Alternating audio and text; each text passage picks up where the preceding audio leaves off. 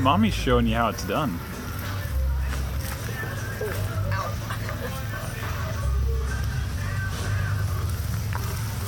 Yes. This is why we go to Rokaberry.